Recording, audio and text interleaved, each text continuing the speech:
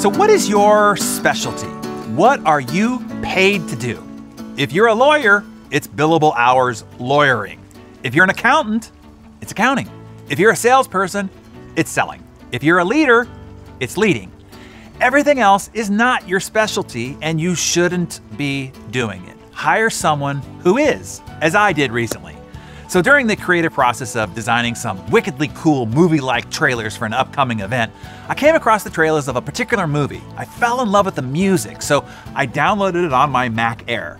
After struggling for 30 to 40 minutes trying to get it transferred to my main computer, which syncs to my gym iPod, I quickly realized, well, soon would have been sooner than 30 to 40 minutes of my life lost trying to do something I don't get paid to do.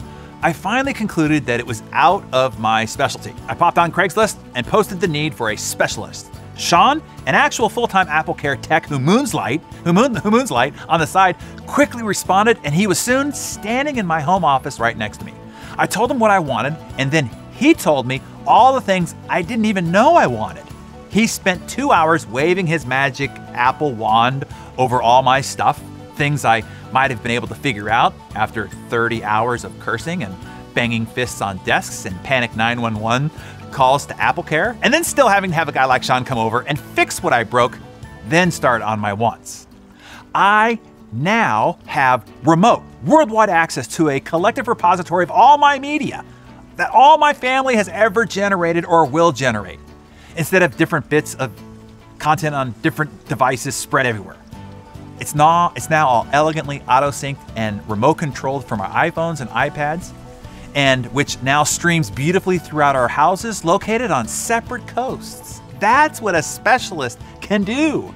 He tried to explain to me what he did, and I simply said, Hey, Sean, love you, man, but I don't need to know how the watch works. I just need to know it does. And the simple user functions of setting it, winding it, and who to call when it breaks. The how is why you're the specialist. You see, nurses shouldn't be ordering supplies. There are specialists for that. A lawyer shouldn't be trying to fix her own computer. There are specialists for that. Business owners shouldn't be trying to do their own accounting. There are specialists for that.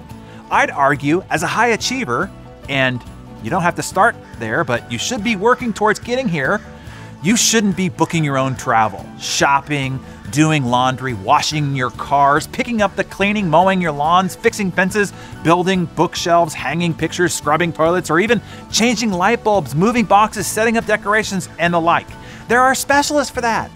Unless any of those things are things that you really enjoy and would pick them as a personal recreation or hobby, doing it just for the fun of it, hire a specialist instead. Stick to your specialty, stick to what you get paid for, and surround yourself with specialists for everything else. You'll be more insanely productive, and your life will that, that you'll get a chance to live will be far more insanely great.